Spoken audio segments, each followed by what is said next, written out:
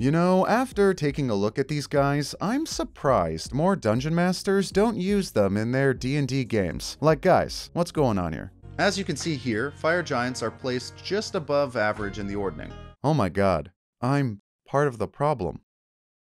And so the goal of today's encounter, apart from making it fun, engaging, and making up for the grave injustice I contributed to, is to create an encounter that's obvious route is to solve it through role-playing rather than combat, while also taking a really niche moveset and getting the most out of it as possible. Hello, my name is Matt, and welcome to my hidden nerdy side, and today we're tackling the huge reclusive artists known as Stone giants. We are going to take a look at their lore, info, and abilities, and then build an encounter you can steal, modify, and plop straight into your D&D games. And to make sure this video is a decent length, we'll only be pulling the stone giant lore, info, and abilities that exist in the monster manual, which can be found on pages 152, 153, and 156. So without further ado, let's take a look at stone giants. So in the Ordning, which is essentially a tier list within the giant community, stone giants are under frost giants, which is just below average in the giant caste system. That being said, they are still strong and mighty, just not socially seen as among the best giants. But that doesn't seem to bother them, as stone giants are quite reclusive, relatively peaceful, and mainly keep to themselves. In fact, they tend to remain in caves and rocky tunnel networks that lie in remote mountain ranges few humanoids have ever traveled. Why is this? Well, they choose to live lives devoted to artistry, painting wondrous murals across cavern walls and sculpting magnificent stonework that could cause dwarves to shed tears of amazement and joy. These works of art are said to reveal meaning inspired by their god, Skoraeus Stonebones, and the most talented stone carvers are appointed as leaders of their tribe, for they can best replicate the true word of God. Stone Stone giants are also skilled rock throwers, however, they don't necessarily treat it as a brute sport, but as a graceful display of athleticism, again showing their artsy nature. Although, of course, it has its combat benefits as well. And finally, possibly the most insane piece of giant lore I've ever read, and maybe even my favorite is Stone giants don't treat the world like it's the real world.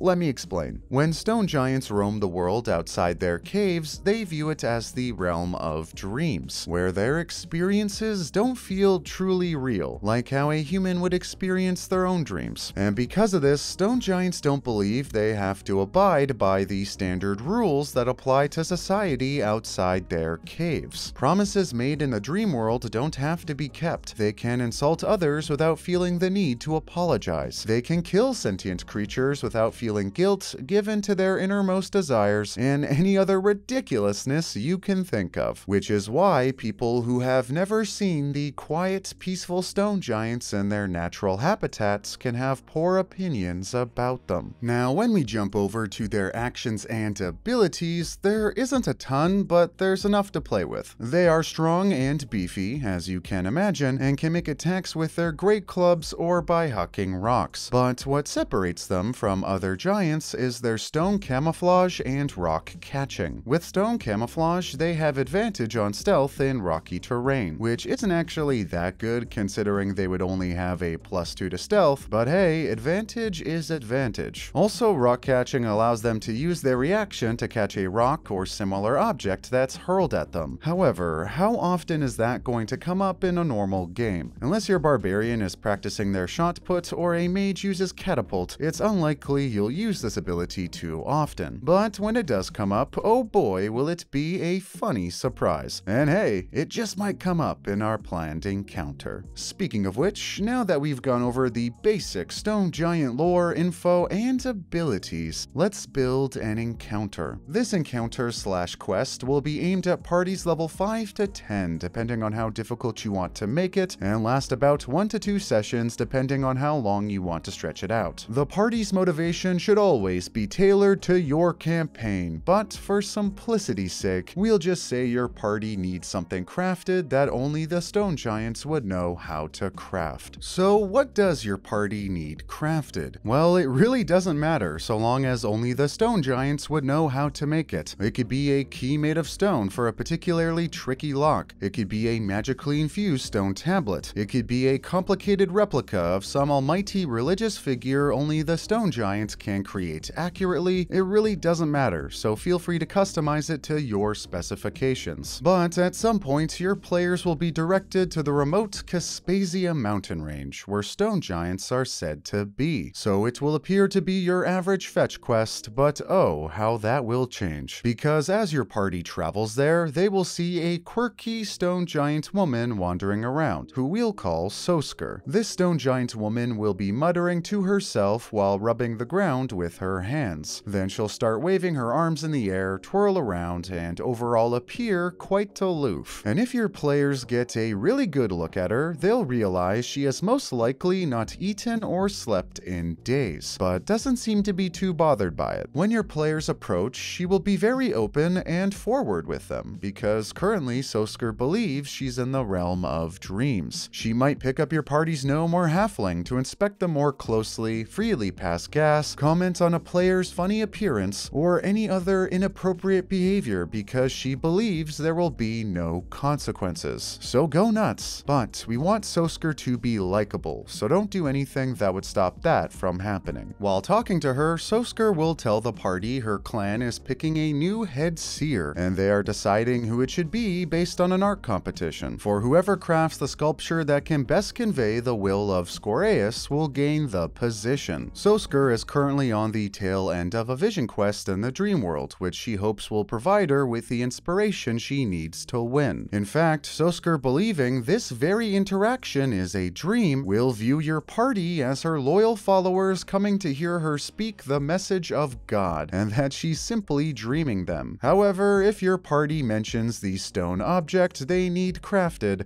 Sosker will tell them she can make it. All your party has to do is come to her cave. Easy peasy, right? Well, Sosker made this promise believing she would never have to keep it, so when your party arrives at the stone giant colony, it won't be quite as simple as that. But what's even weirder is Sosker will close her eyes and jump down a hole attached to a stone slide that will take her back to her home, aka what she views as the real world. But when your party follows her, Sosker will believe her connection to God is so strong that she summoned your party with the power of her mind, and that she's essentially created life. Sosker will be thrilled because this is the first time she has ever done so and was always jealous of other stone giants who have done the same, which your party will quickly piece together that the other stone giants most likely just brought back creatures from the surface. However, Sosker will also tell your party they need to be on their best behavior and be good little followers, for the clan has had to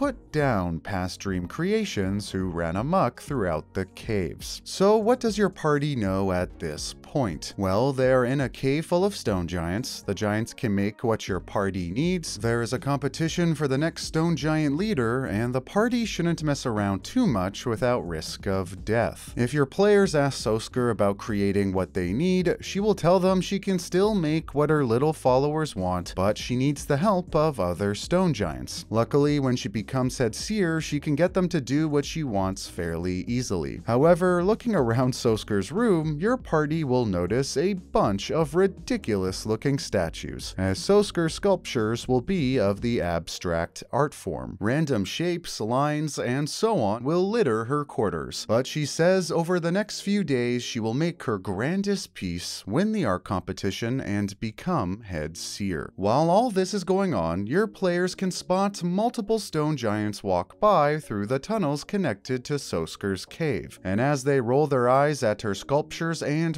ravings, it will appear Sosker isn't the most popular stone giant. Then, halfway through your party's conversation with Sosker, a group of stone giants who overheard her rantings and ravings will come by and start to maliciously bully her, calling her art nonsense, convoluted, and by no way representing messages from Skoraeus. Orweg, the main Stone Giant bully, will then declare he is going to be head seer and everyone in the clan thinks so as well, since his work is beautiful, clear, and simple to comprehend. After the bullies leave, Sosker will look sad and confirm she hasn't won an art competition yet, but definitely will now thanks to her vision quest and from the aid her newly conjured followers will bring, aka your party. And once she wins this art contest, no one can laugh at her anymore and people will finally respect her. So through your narration, it's key to set up this underdog story, where Sosker is the likable oddball outcast who will overcome her obstacle of being a social pariah with nonsense art and become head seer. She will be weird, but in a lovable way. So how do you make a lovable weirdo? Well, we talked about it a bit already, but the key is to have her do weird and crazy things that push boundaries without crossing them. For example, if Sosker simply started killing creatures on the surface because she doesn't have to worry about the consequences, it will be much harder to latch onto her and see her as a likable character. But if she say has an obsession with elves and lifts up your party's elf and cuddles them like a teddy bear, yes, that's inappropriate behavior, but it's much more forgivable and likable. Another example would be if your party has a wizard and Sosker says she hates wizards because, in her words, they're just a bunch of book nerds trying to do what sorcerers can do naturally. It's gonna be much more difficult to make a connection. But if your party has a wizard and Sosker says she hates sorcerers because they're just wizards but without the hard work, that's a much easier connection for your wizard to make. Now this doesn't mean you can't hurl insults, but the insult should be playful. For example, making fun of your party dwarf for being a big hunk of fat, well, your dwarf might not like that. But commenting on the dwarf's belly by calling it a beer belly and asking if she can use his beer belly as a luscious pillow, that's much easier to get on board with. But of course remember, Sosker is already the underdog, so the fact that she's an underdog will already gain sympathy from certain players. Now this doesn't mean she doesn't have to have a personality, she certainly does, but the odds are stacked in your favor. But anyways, Sosker will get to work on her sculpture to present it in a few days. She will mention she remembers a few passing phrases from her vision quest, but needs your party's help defining their meaning. Because like how humans can't always remember their dreams, Sosker can't remember everything she saw while above ground. Now this is the truly customizable part, because at this point, you can give your players any 4 to 6 words you want. For example, they could be dragon, fence, fork, sheep, tree, and scale. It really doesn't matter. But remember, these words will represent things Sosker saw on her vision quest, aka the real world. And these words will represent the words of Skoraeus that your party, as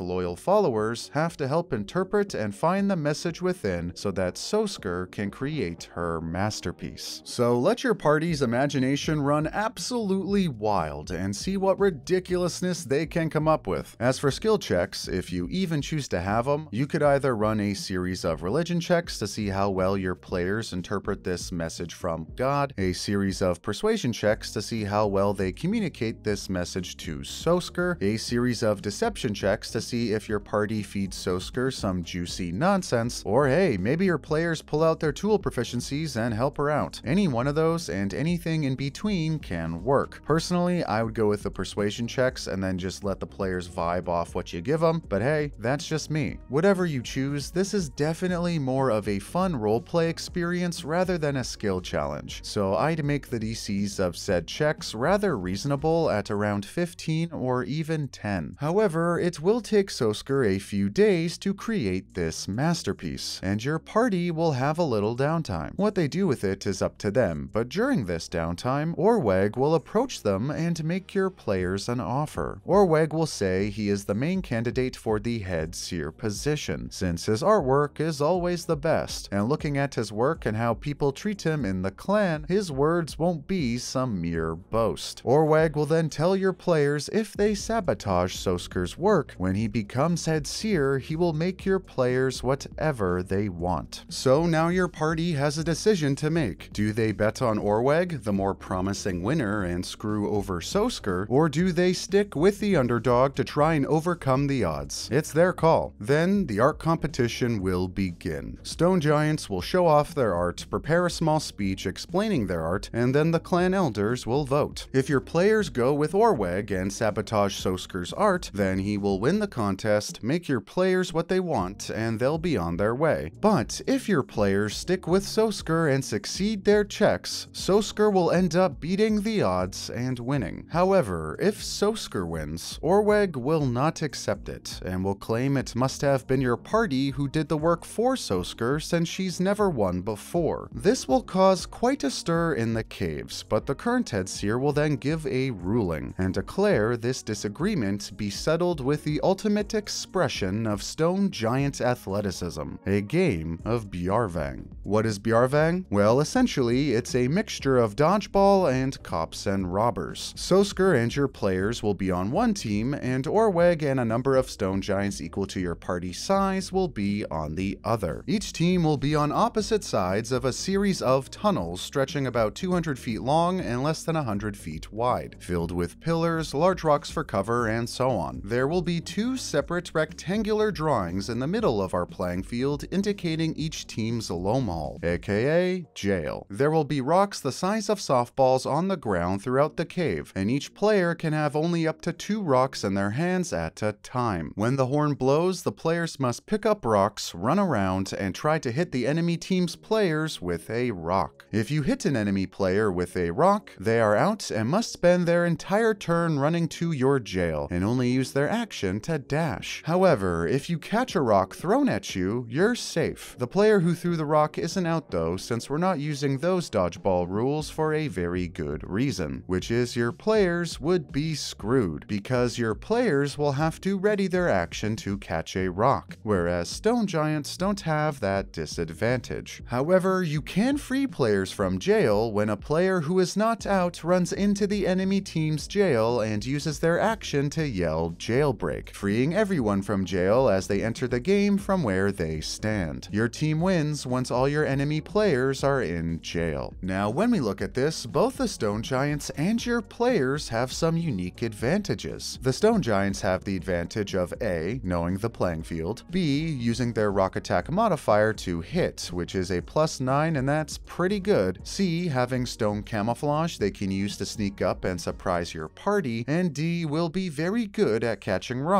using their special reaction. Although it's important to note, getting hit by a rock in this game will only deal 1 point of damage, or else it would get a little insane really quick. However, your players will also have an advantage, since stone giants are just stone giants, and they won't have access to the plentiful amount of spells and abilities your players will. Now, your players can't cast any spells directly at a stone giant, since that will be against the rules. However, they can still use spells to buff their own players and use crowd control spells such as Wall of Fire to section off parts of the map. And so this beautiful, insane game will begin to end off this already ridiculous role-playing encounter. And if your players win, Sosker will be the definitive head seer and create whatever your party desires. So, a pseudo dream quest that turns into an art competition that turns into a game of cops and robbers? I think this is all quite spicy enough, but if we wanted to, how can we make it even spicier? Well, if your players are in dire need of quenching their thirst for blood, you could have Orweg instead of challenging your players to a game of Bjarvang start a miniature stone giant civil war. You could also have your players meet Sosker in the middle of her vision quest instead of the end, and plan a couple of encounters involving Sosker interacting with regular encounters in an inappropriate dreamlike way. And finally, what if you let your players enter the competition themselves? What insanity could they concoct with a stone giant tribe at their beck and call? But anyways, this is just one of many ways you can use stone giants in your Dungeons and Dragons campaign. But if you do use this in your future games, make sure to let me know how it goes. And of course, I am always accepting challenges, so make sure to leave your spicy ones below. Thanks for watching and indulging my hidden nerdy side.